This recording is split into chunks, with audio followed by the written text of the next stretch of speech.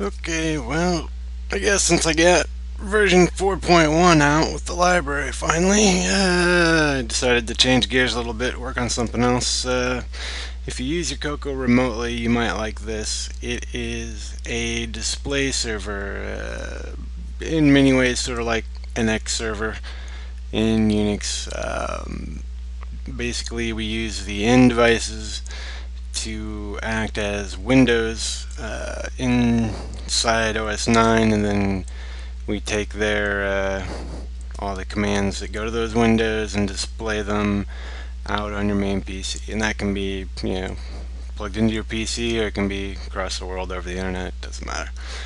So uh, probably easiest to just uh, show you here. So we'll uh, start up uh, NitrOS-9 and I've got uh, in my startup. That's why a window just opened back there. We've just got regular old window commands going into N5 here which kicks off that window so. There's an OS 9 window here and it's uh, yeah, pretty much a typical thing. Works nicer than Telnet in a lot of ways. Uh, you've got you know arrow keys that work. Um, you've got uh, I'll show you the uh, screen control actually works, which is uh, pretty much impossible to do in a terminal emulator. Um, they work just like uh, regular Windows in OS 9, so if you know the commands there, change the foreground color to, uh, I don't know, white. And now we got white. And you know, I've implemented almost all of them, even the drawing commands and stuff like that. They're in here. Um, uh, whatever. So, oh yeah, you can create new windows uh, just normally, naturally, the same way you would if you were using Windows there on NitrOS-9's console. Create a 40 column window here. I don't know pipe it into any free device. Oh, there's a new window. Opens up here, and I guess we can start a shell on that. And eh, not the best colors in the world, but uh, there's a 40 column window. And uh, just like uh, console, you can change that on the fly. I, you've got I've got some scripts just to change certain things. Uh, what else can you do with this? Uh,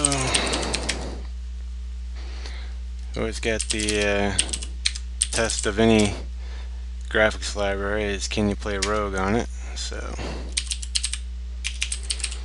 yes, we can play Rogue.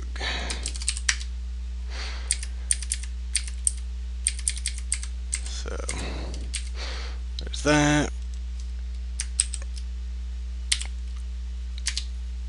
And uh, full screen text editors are nice, right? So sled works. Oh. If you're in the right execution directory, it works. Uh, full screen text editor in a window. Yeah, something I've been wanting to have for a long time. Uh, it's always annoying that the uh, telnet sessions didn't work quite right. So that's nice to have. Oh, um, well, get out of here. There's uh, there's also copy and paste. So Eh, if you want to paste in big log strings of things you can. Copy's a little weird for now. I'm still sorting out how to do that quite right. Selection isn't something that OS 9 really knows about, so you have to kind of do it out of band. Oh, oh yeah, you can do overlay windows, you know. Uh, let's go to Ubux 3 is the only thing I know that actually uses them, but uh, when you hit quit, there's an overlay window that pops up on top, so those work. Um, well, in most programs that use graphics will work as well. I'll show you this one. He's nicer with frame skip on. But uh, yeah, you can run anything that uses standard window calls, uh, which includes writing bits to buffers and displaying buffers and different graphics modes. Um, so you're not limited at all to text like you would be in Telnet. Uh, still some things to work out there. A lot of programs that really should work don't. They're looking for something out of the device descriptor that I haven't quite made happy. Like there's, you know, image viewers and things like that. Ultimately, eventually, you should be able to run Multi-Vue. Uh, shouldn't be any reason why you couldn't. So, um, uh, you can definitely do some graphical type stuff. I don't know what this program is really all about. Just some little guy walks around.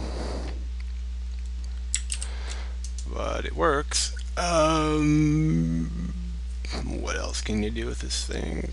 Eh, that's probably about it. There's one program that works pretty well. Stones. Uh, what do you gotta go to?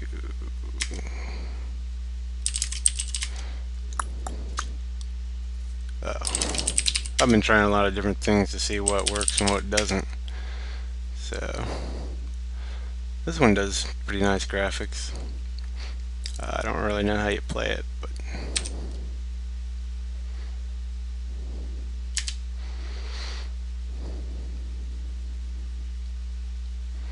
see it's drawing the buffer on there. And, well, a little more than Telnet, I guess. So I guess that is pretty much what it's doing here. Um, like I say, you can have as many these windows as you want, and uh, they work like regular OS 9 windows. So that'll be coming soon. Uh, gotta sort some things out with it, little things, but looks like it's gonna work fine. So there you go.